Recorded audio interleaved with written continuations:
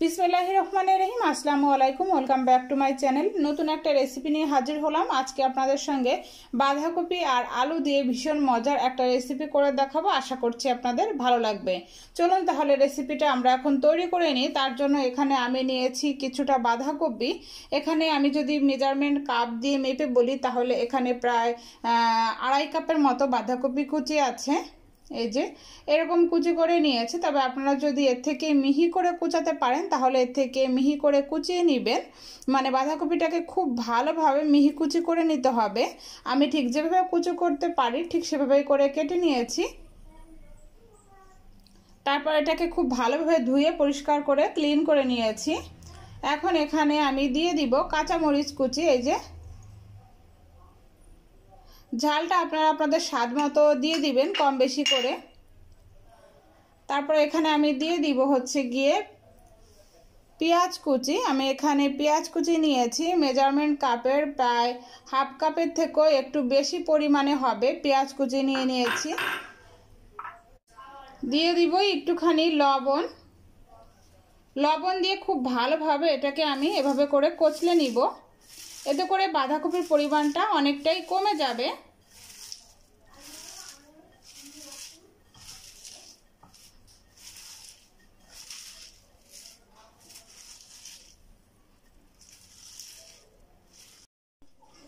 বাঁধাকপিটাকে আমি কিছুটা যে মেখে নিয়েছি, এতে করে কিন্তু বাঁধাকপির পরিমাণটা অনেকটাই কমে গিয়েছে। এখন আমি এখানে যেটা দিয়ে দিব, আমি এখানে নিয়েছি মশলা, গুঁড়া মশলা, আমি এখানে স্বাদ মতো লবণ নিয়েছি, তারপর হচ্ছে গিয়ে কাবাব মশলা নিয়েছি, তারপরে কাবাব মশলাটা আছে এখানে হচ্ছে গিয়ে এক চা চামচ পরিমাণে, পরিমাণ মতো হলুদের গুঁড়া, তারপরে পরিমাণ মতো শুকনো মরিচের গুঁড়া, আর হচ্ছে গিয়ে এখানে ধনিয়ার গুঁড়া, আর হচ্ছে ভাজা জিরার গুঁড়া, সমস্ত শুকনা উপকরণগুলোকে আমি এখন দিয়ে দিব।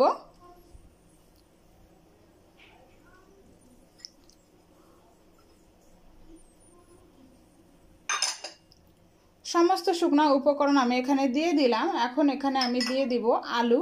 আমি এখানে ঠিক এরকম সাইজে চারটা আলু নিয়েছি। আপনাদের আলুর সাইজগুলো যদি এর থেকে বড় থাকে, তাহলে কিন্তু আপনারা এখানে মাঝারি সাইজের দুইটা আলু দিলেই হয়ে যাবে। তো আমার এখানে আলুগুলো একটু ছোট সাইজের যার কারণে আমি এখানে চারটা আলু নিয়েছি। আলুগুলোকে আমি একটু এভাবে ভেঙে দিয়ে দিব, তবে আপনারা চাইলে কিন্তু এটাকে গ্রেট করেও দিয়ে দিতে পারেন আমি এভাবে করে দিয়ে দিচ্ছি।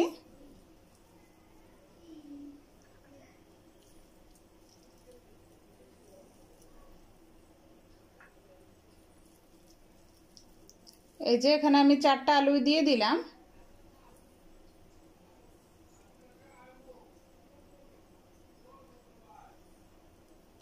এখন এখানে আমি দিয়ে দিব একটা ডিম। আমি এখানে একটা ডিম দিয়েছি, তবে আপনারা চাইলে কিন্তু বেশিও দিয়ে দিতে পারেন।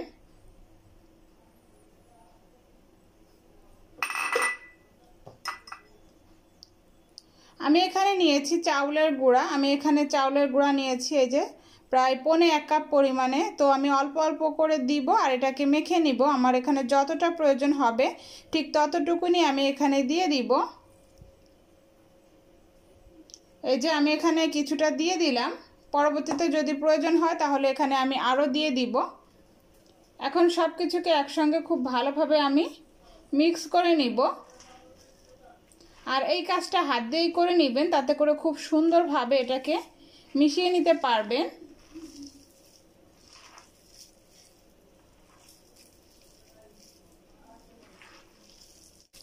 এই যে আমি মিশিয়ে নিয়েছি, এখানে আমার মনে হচ্ছে আরও কিছুটা চাউলের গুঁড়ার প্রয়োজন। তো এখানে আমি আরও কিছুটা চাউলের গুঁড়া দিয়ে দিব। পুরোটা দিচ্ছি না, প্রয়োজন হলে আবারও দিয়ে দিব।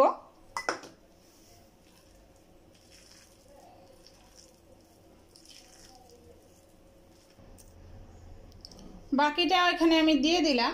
এখন সব কিছুকে একসঙ্গে খুব ভালোভাবে আমি মিক্স করে নিচ্ছি। আপনারা চাইলে কিন্তু এখানে ধনেপাতা কুচিও অ্যাড করে দিতে পারেন।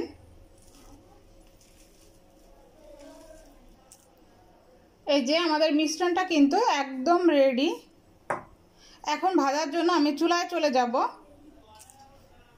ভাজার জন্য আমি চুলায় একটা প্যান বসিয়ে দিয়েছি, আর তাতে পর্যাপ্ত পরিমাণে তেল দিয়ে তেলটা গরম করে নিয়েছি।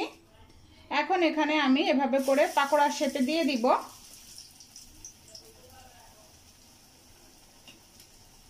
আপনারা কিন্তু আপনাদের পছন্দ মতো যে কোনো শেপেই এটা দিয়ে দিতে পারবেন।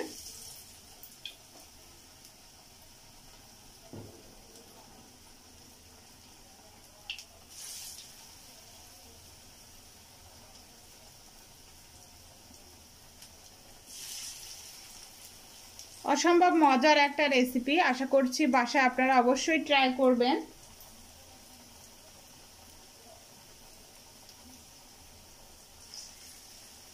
আর এই পর্যায়ে আমি চুলার আঁচটা মিডিয়াম টু লোয়ে রেখেছি। খুব বেশি হাই আছে দিয়ে দিলে কিন্তু এটা উপর থেকে কালার এসে যাবে আর ভিতর থেকে কাঁচা থেকে যাবে।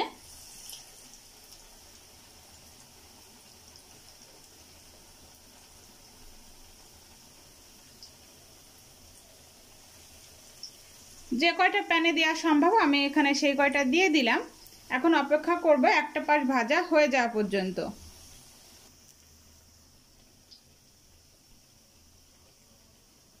একটা পাশ কিছুটা ভাজা হয়ে গিয়েছে, এখন এটাকে আমি উল্টে দিব।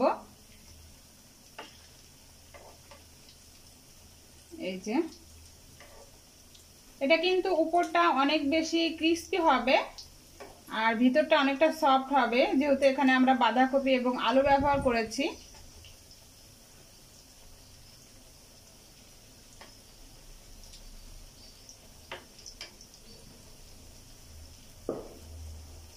সবগুলো যে উল্টে দিলাম। এখন অপেক্ষা করব অপর পাশটা ভাজা হয়ে যাওয়া পর্যন্ত।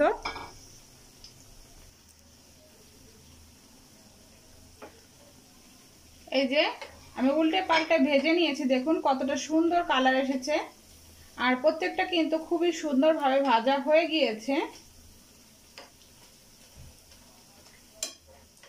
খুবই সুন্দর কালার এসেছে।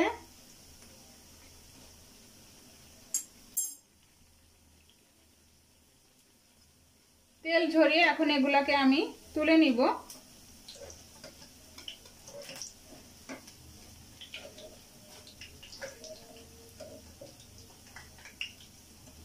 এই যে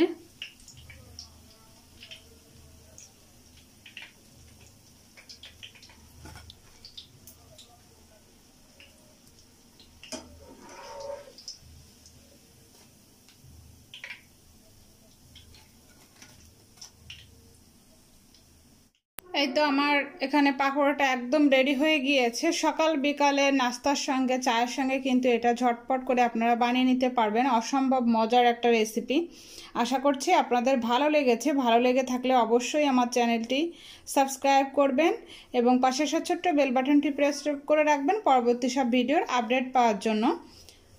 আজকে তাহলে এখানেই বিদায় নিচ্ছি। সবাই ভালো থাকবেন, সুস্থ থাকবেন। আল্লাহ হাফেজ।